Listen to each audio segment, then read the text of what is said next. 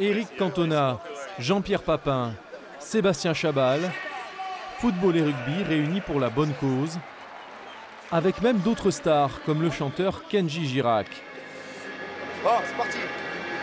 L'équipe de rugbymen, en noir, n'a rien perdu de son jeu au pied, même avec un ballon rond.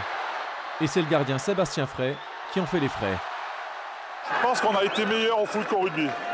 Très honnêtement, on a été mauvais comme des cochons. Fabien Barthez montre qu'il est aussi adroit dans les cages que devant le but. Pas de violence, les plaquages sont interdits.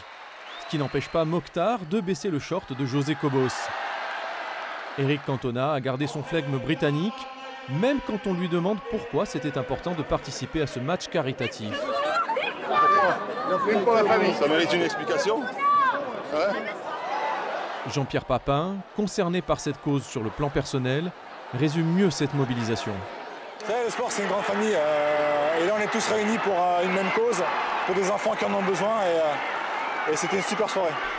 Toulon, Bordeaux, Bastia, Pascal Olmeta réunit les sportifs et les stars sur les terrains depuis 16 ans. Son association, Un sourire, un espoir pour la vie, aide les enfants malades et leurs familles. c'est les amis. C'est que ils ont le même langage qu'on a tous, ne pas attendre que ça nous arrive parce que si ça nous arrive, malheureusement, c'est très dur et là, les bras nous, nous tombent. Il ne faut pas attendre ces moments-là. Je pense qu'il faut être solidaires tous ensemble. C'est le plus important. Près de 7500 personnes ont assisté à la rencontre. La recette de la billetterie a été intégralement reversée à l'association. L'argent servira à financer des voyages, à aider des hôpitaux et d'autres structures qui luttent contre la maladie.